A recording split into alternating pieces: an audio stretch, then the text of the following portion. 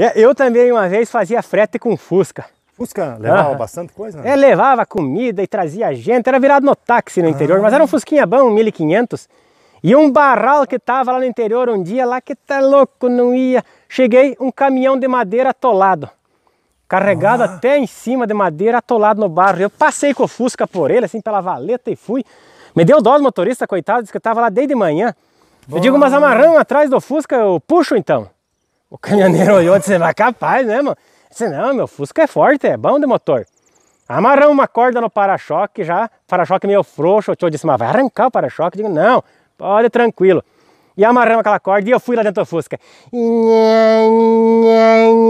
E começou a puxar.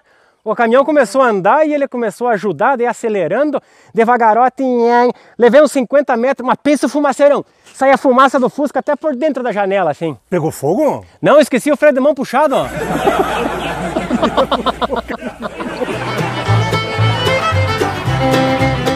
Tio e sobrinho.